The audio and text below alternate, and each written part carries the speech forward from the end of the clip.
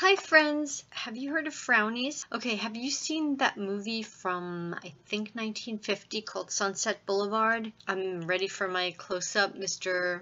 Jamil or whatever. If you haven't, you don't know what the hell I'm talking about. Anyway, these are called Frownies, and what a difference they have made on my face. You know when you have an envelope before the self um, peeling the self-adhesive ones, you know, where you had to actually lick it? That's what this basically is and there's stuff on the back.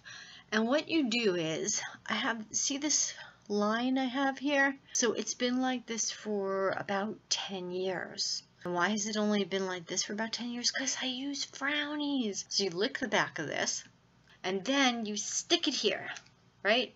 There we go. But before you do, you're going to stretch this part of your face, wherever the line is, okay? And you go like that.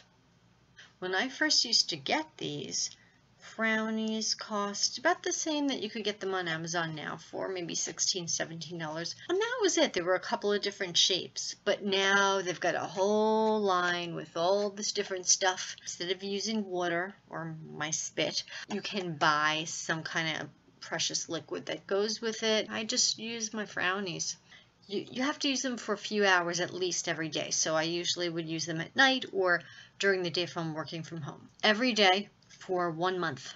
After that, you can use them three days a week. So that's kind of what I do. I haven't used them in a few weeks now, but when things were getting, this line was getting kind of pronounced, I started using them a lot. You can ask Eric. He went to sleep with this. and uh, uh, but look at the difference now. It looks amazing.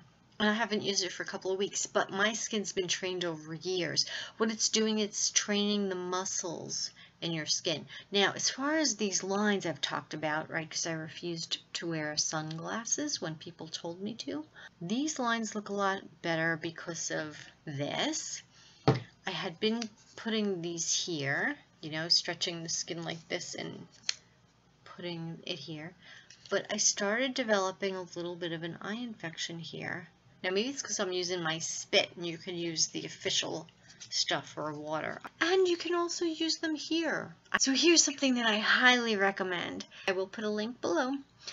If you do use it, please let me know how it turns out for you. If you have any questions for me, please put them down there.